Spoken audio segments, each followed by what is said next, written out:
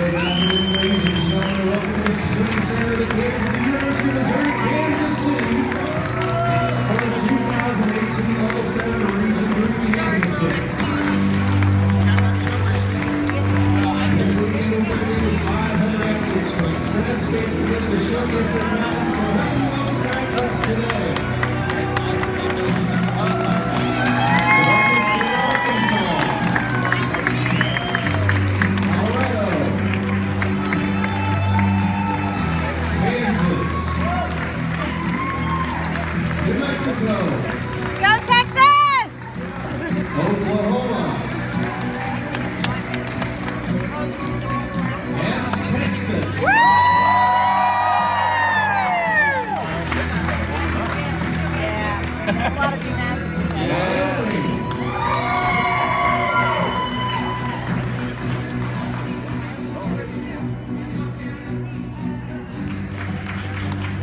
These are your gymnasts competing in this afternoon's competition, but we cannot do this without our judges.